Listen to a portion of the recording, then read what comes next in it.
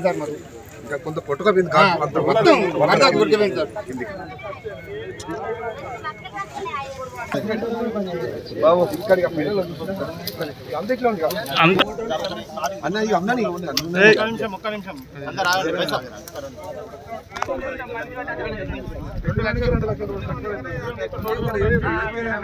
ఇంత కలిపి తినే వాళ్ళకు మన దేవుడా? ఇది తెలిసిన నాయన.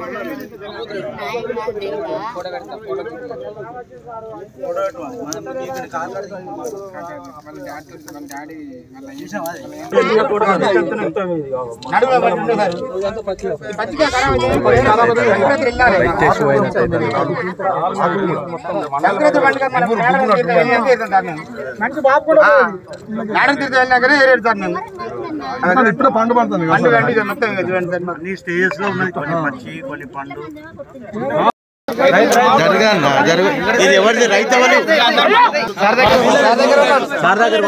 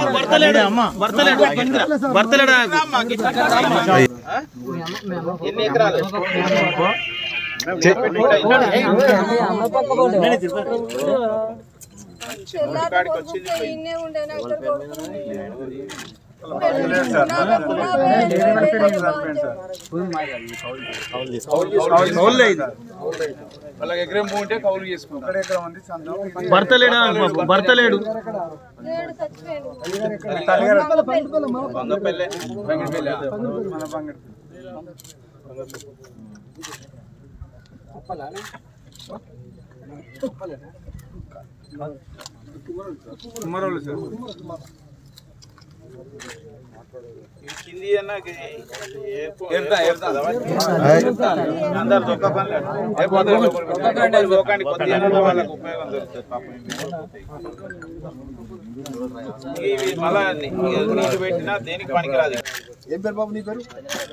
కొడుకు మీ అమ్మ పేరు ఏం పేరు?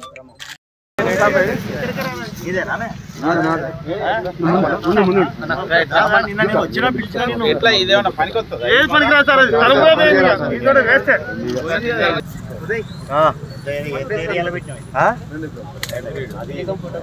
రెండు రెండు రెండు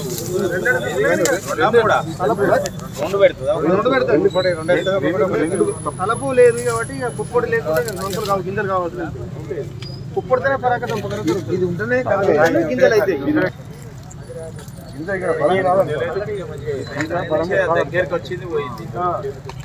ఘోరమైన పరిస్థితి అయితే ఘోరం. నోట్లకి పది రోజులు అయితే కదా గింజలే.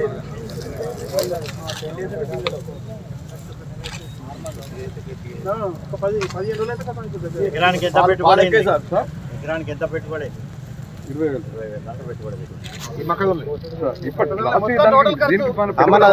టోటల్ ఖర్చు- ఖర్చు ఎంత అయిందంట?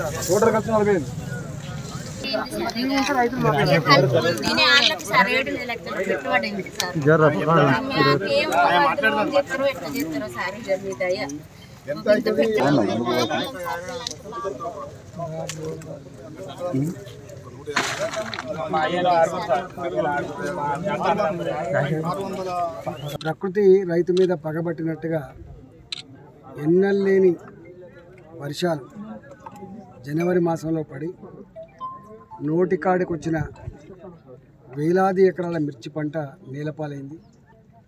కొన్ని వందల ఎకరాలలో తలసం చేసిన పీసులు తోడిన మక్క పంట కూడా నేలపాలైంది. ఇవాళ రైతులు వరి పంట వేయకూడదని వరికి ధర ఇస్తున్నారంటే బెంగతో గత కొన్ని సంవత్సరాలుగా మిర్చి పంట మీద ఎక్కువ దృష్టి పెట్టిండ్రు. నడికూడ మండలం నడికూడ గ్రామం కావచ్చు వరికోలు చెర్లపల్లి మలక్పేట ఇట్లా అనే రాయపర్తి అనేక గ్రామాలలో ఒక ఎకరం మీద ఒక లక్ష యాభై వేల రూపాయలు పెట్టుబడి పెడితే వాళ్ళకు పాపం ఇరవై ఐదు నుంచి ముప్పై క్వింటాల మిర్చి ఆస్కారం ఉంటుంది దిగుబడి వచ్చే ఆస్కారం ఉంటుంది. సంక్రాంతి తర్వాత సంక్రాంతి తర్వాత ఫస్ట్ పిక్ వస్తుంది. మొట్టమొదటిసారిగా వాళ్ళు ఏరుకునేటువంటి ఆస్కారం ఉంటుంది. అట్లా మూడు నాలుగు సార్లు ఏరుకునేటువంటి ఆస్కారం ఉంటుంది. కానీ ఈసారి ఒక్క ఏరివేత కూడా పూర్తి కాకుండానే కళ్ళ ముందు పండిన పంట నేలపాలు అవ్వడం అనేది వాళ్ళు జీర్ణించుకోలేకపోతున్నారు. రైతులంతా కూడా వాళ్ళ ఇళ్ళల్లో కుటుంబ సభ్యులను కోల్పోతే ఎట్లయితే విషాద ఛాయలు అలుముకుంటాయో అదే విషాదం వాళ్ళ నడి కూడా రైతుల్లో ఉన్నది మిగతా చుట్టుపక్కల రైతులు కూడా ఉంది గతంలో ఇట్లాంటి సందర్భంలో ఈ అకాల వర్షాలతో రాళ్ళ వానలతో పంటలు నష్టపోయినప్పుడు మనకి ఇన్సూరెన్స్ క్రాప్ ఇన్సూరెన్స్ స్కీమ్ ఉండేది. కొంతలో కొంత మొత్తం కాకపోయినా ఉన్నంతలో కొంత లాభం జరిగేటువంటి ఆస్కారం ఉండే. కానీ నాలుగేళ్ళుగా రైతు బంధు ప్రారంభమైన తర్వాత ముఖ్యమంత్రి కేసీఆర్ గారు ఈ ఇన్సూరెన్స్ మీద దృష్టి పెట్టి తీసేసిండు. కేంద్రం నుంచి వచ్చినటువంటి ఫసల్ బీమా డబ్బులు కూడా పక్కకు పెట్టి కట్టకపోవడం వల్ల ఇవాళ మరి రైతుల యొక్క బతుకులు అయోమయం పరిస్థితులు. ఉన్నాయి వాళ్ళకు అన్ని రకాల సబ్సిడీ ఎక్విప్మెంట్ సబ్సిడీ పోయింది డ్రిప్ ఇరిగేషన్ సబ్సిడీ పోయింది స్ప్రింక్లర్స్ సబ్సిడీ పోయింది అదేవిధంగా మెకనైజేషన్ సబ్సిడీ పోయింది. ఇవాళ పంటలకు వచ్చేటువంటి ఇట్లాంటి సందర్భాల్లో వచ్చేటువంటి సపోర్ట్ కూడా లేకుండా పోయింది.